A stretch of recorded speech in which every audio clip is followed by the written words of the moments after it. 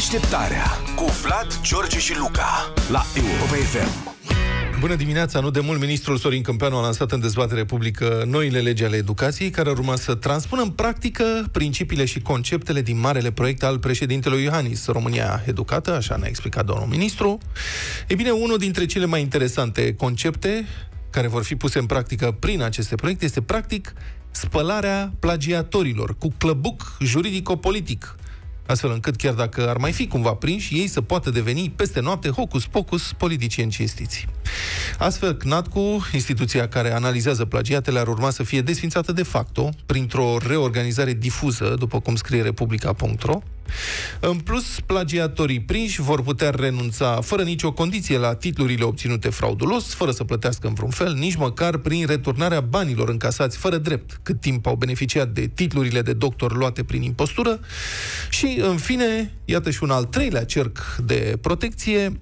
În proiect mai apare această a treia măsură de siguranță pentru protecția plagiatorilor, răspunderea pentru plagiat ar urma să se prescrie în trei ani de la săvârșirea faptei.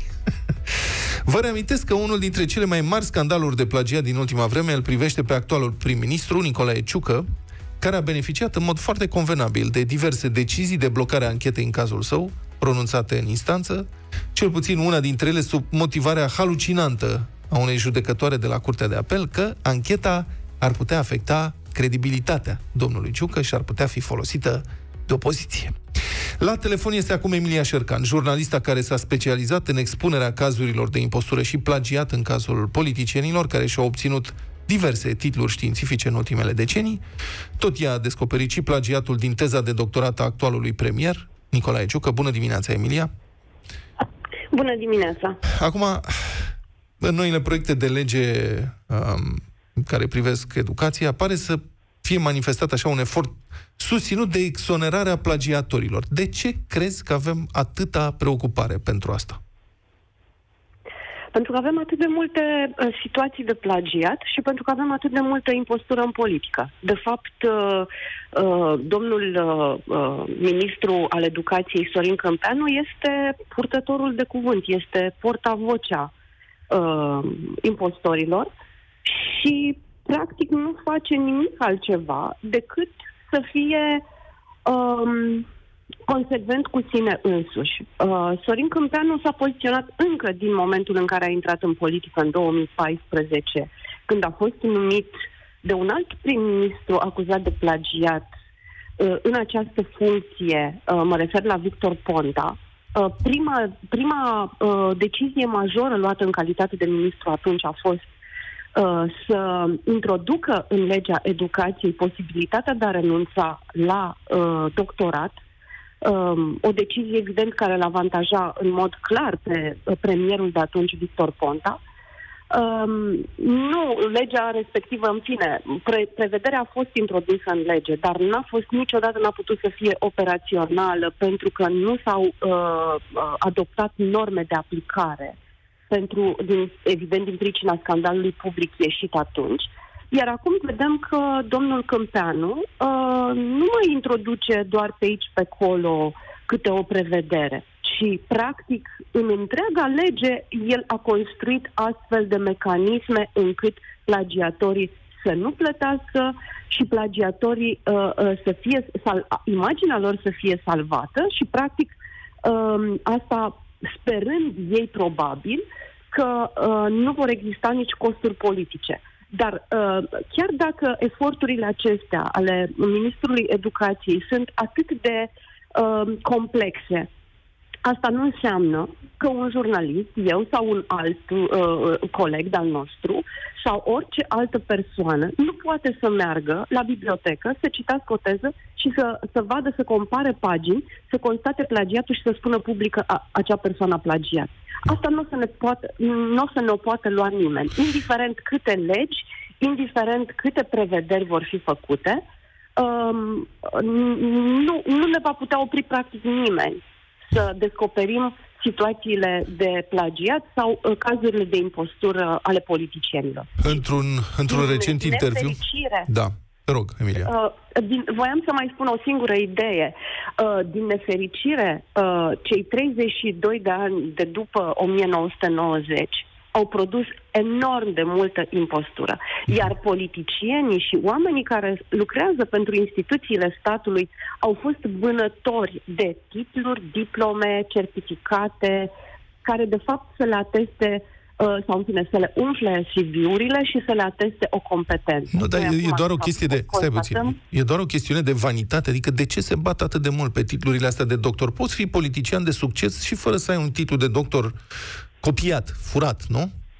Ar fi bine să fii doctor adevărat. cu adevărat, dar na, E foarte adevărat. Cred că, de fapt, oamenii aceștia, dincolo de vanitate, pentru că, da, și eu cred că, într-o măsură, este vorba și despre vanitate, uh, cred că unii dintre ei au, au crezut, au, au crezut că pot să se legitimeze în ochii publicului sau în ochii viitorilor angajatori din diverse instituții, adică dacă tu ești fiul lui tata, nu ai nicio calitate, dar uh, uite, domnule, vine, luăm și îl plantăm pe acest tânăr de viitor într-o poziție oarecare. Dar noi vedem că în CV, uite, el are și um, titlul ăsta, are și diploma asta, are și certificatul ăsta, cel puțin uh, ne poate lăsa senzația că persoana respectivă este competentă. Mhm. Sunt anumite universități sau colegii prin care uh, trec mulți politicieni care după aceea au astfel de titluri de doctori. Uh, doctor copiate, furate. Sesizezi vreun model aici și aceste instituții au vreo anumită apartenență, vreo anumită afiliere? Da, sunt, uh, vorbim despre multe uh, universități militare. Practic, uh, acolo am descoperit, eu am descoperit problema principală, dar uh, mi-am dat seama că, mm, la fel, aceeași problemă este și în universitățile civile. Nu, e, nu este o diferență majoră. Uh, Uh, însă, ideea este că uh, sistemul de educație nu și-a creat în acești 30 de ani mecanisme pentru protejarea uh, valorii și, de fapt, pentru certificarea valorii, pentru că ne dăm seama că prin toate aceste titluri și certificate și diplome, uh, instituțiile uh, universitare au dat, mai degrabă au certificat impostura, incompetența uh, și plagiate. Ceea ce cred că trebuie să dea de gândit oamenilor care conduc universitățile, uh, rectorilor în special, rectorii care am văzut că mulți dintre ei s-au poziționat și practic îl susțin pe Ministrul Educației, uh, pentru că ei înșiși și-au construit carierele pe impostură, iar unii dintre ei au inclusiv teze de doctorat plagiate. Dar poate că unii, poate că unii totuși, uh, pentru că nu sunt toți, sunt și oameni de o foarte bună calitate. Uh, poate că unii vor, uh, așa, în ceasul al 15-lea, vor face ceva pentru a uh, schimba imaginea uh, învățământului românesc, schimba uh, imaginea cercetării uh, științifice din România, care începe să aibă ecouri uh, din nefericire tot mai mult în exterior. Aș vrea să te rog să comentezi pe scurt, o declarație făcută de ministrul Sorin Câmpeanu într-un interviu pentru colegii noștri Florin Negruțiu și Claudiu Pândaru la emisiunea în fața ta. Îl întreabă, evident, despre acuzațiile de plagiat împotriva, sau împotriva primului ministru și Sorin Câmpeanu, care e și el profesor universitar, spune așa Zi, citez, nu vreau să amestec poziția de membru al guvernului cu ceea ce am de făcut pentru implementarea legilor România Educată. Din acest motiv, zice domnul ministru Câmpeanu, vă spun foarte clar, nu vreau să abordez acest subiect. Nu l-am abordat și nu vreau să-l abordez nici de acum încolo. Nici cu domnul prim-ministru, nici cu dumneavoastră și nici cu mine. Avem instituții care trebuie să se ocupe. În momentul de față se ocupă instanța. E un răspuns clar și asumat. Deci avem un profesor universitar care este membru într-un guvern și este o acuzație de plagiat la adresa șefului. Zice, nu vreau să vorbesc este... nici măcar cu mine despre asta. Ce spune asta, Emilia? Asta spune că, de fapt, uh, domnul Câmpeanu, uh, așa cum am spus chiar de la început, este cel mai mare și cel mai vehement apărător al plagiatorilor. Uh, uh, dumnealui uh, nu numai că este profesor universitar, este conducător de doctorate, este dublu academician, are peste 10 titluri de doctor honoris causa, iar în uh, perioadele în care nu s-a aflat în guvernul României în poziția de ministru al educației, a fost președintele Consiliului Național al Rectorilor. Mie mi-ar fi o rușine groaznică să am toate aceste titluri, poziții și așa mai departe, demnități, și să dau un astfel de răspuns. Mulțumesc foarte mult, Emilia Șercan, pentru intervenția în deșteptarea în această dimineață. Deșteptarea cu Vlad, George și Luca la Europa FM.